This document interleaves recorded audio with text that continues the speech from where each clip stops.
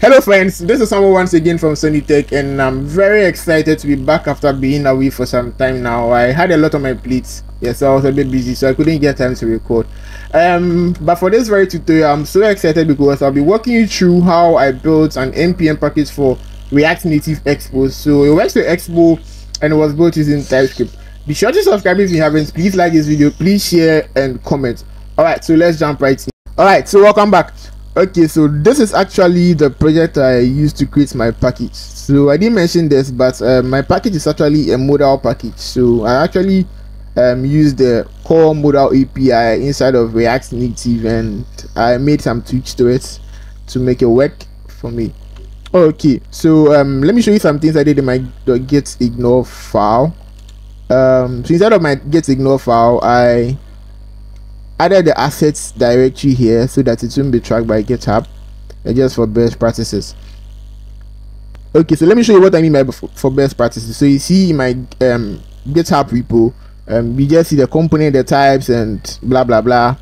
Okay so great. And um, this is my main component folder which consists of the code for the modal component. And this is my types.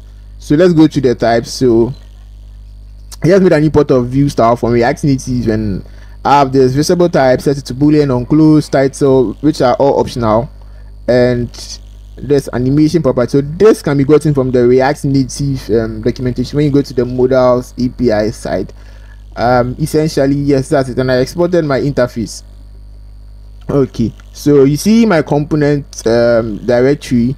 I did some imports. Let me clean this. This isn't really important okay so great. So i imported my interface and so this is what i have here. And i set the initial animation type to slide. So you see that when i get rid of this and i press ctrl space bar so everything shows fine. And the page styles to its same. And i set the initial opacity to animated the value. So i'm setting it to zero.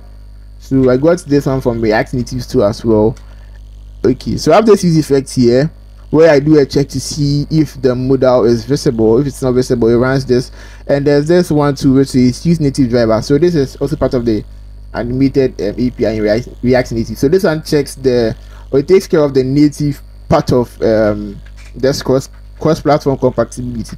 So it, it allows smooth transition when it comes to the animation side. So um, let's assume you are testing my package on an iOS device. How the animation is going to pop up is going to be different from an Android device. So when you set this to, it takes care of that. And um, this is the main section. So this is the modal component from React Native.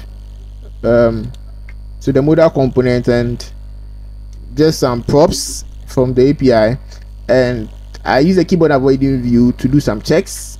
So this code is pretty understandable and I'll be leaving a link to the GitHub um, repository that houses or has this code base, and I'll make some modifications. I'll add some comments to it so um, you understand what is going on here. All right, sure.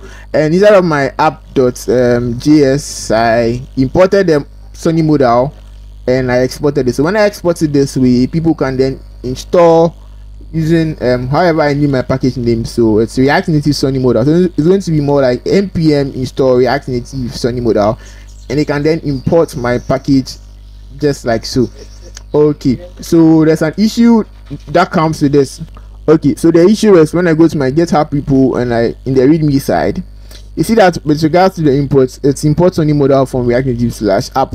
So this is because um the main entry of my app here is app.js so it might not work unless you add a slash app directory.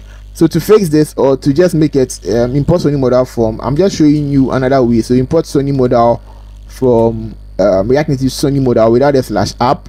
You'd have to go into your node modules and go into your expo um, folder. Where is expo? Efg expo should be somewhere up here um to help me find expo okay sorry. So instead of my expo folder and i go into the app entry so here i can specify so i can do import say app from slash slash and i name it index. So when you leave it as index.js or you make your app entry index.js you don't need to add the slash app directory. Okay. So I can just register the index this one. So to do that um, I'll simply have to create an index.txt file. So and import an index.txt file and just do this import of the modal. Just that I would have to change it inside of my expo directory. Okay so I did that at first and I just removed it just to make mine a bit different which is enough and there's an example side here how to use the modal. So um we set some states to check its visibility and some close and open modal functions and identify app okay so i'm going to show you a live demonstration of how i did this. So i promised a demo so i'm going to be um, showing you how to use this package. So first and foremost i'm going to import um, sonny modal from sonny react native modal. I'll explain why there's a slash app and once you do i'm going to add some states to check um, the modal visibility. Then you're going to add a function to um, which is called close modal which is going to set the visibility to false. And once you're done with that we're going to import the modal and pass in the props. So there are lots of props. When i come in i do control space bar. See a lot of props here. So i'm going to run the app but currently at the time of recording i have an issue with npm npm js is, isn't working. But then and i'll run the app inside of my main um, modal um, component folder. Okay so you see when i try to access npmjs.com it doesn't work. And when i try um, trying to log into my account doesn't work. So let me show you. The modal is on npm. So when i do npmjs so i'll be leaving a link to that in the description. So it's npmjs.com slash package slash this. All right so great. All right so um my project is running so currently i'll be running it inside of my main modal folder as i said. So this i just clear the inputs okay so i've popped in the modal component so when i click on open modal you see slides up because of the animation type. When i change this to um, fade and save let's try. Okay. So you see it fades in nicely because of the um that type i specified which is this type. So the use native driver okay which is from the um, animated api inside of react native.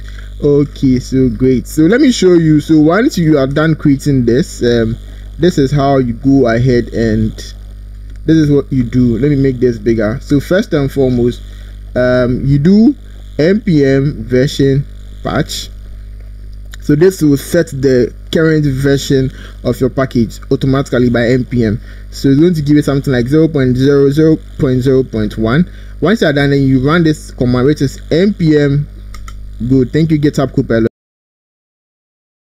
this is why i like ai you're going to actually you're going to run this command if it is your first time pushing a package to npm but if it isn't your first time so so after this the next time you make any change you just run um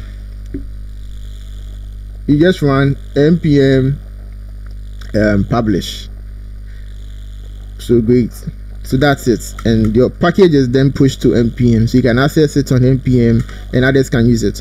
All right guys. Thank you so much all right guys. So thanks so much for sticking with me to the end. And i'm glad you love this one. Don't forget to leave your thoughts in the comments so i know what you think about this video. Um, um be sure to subscribe. Please like this video. And there are more videos coming up bye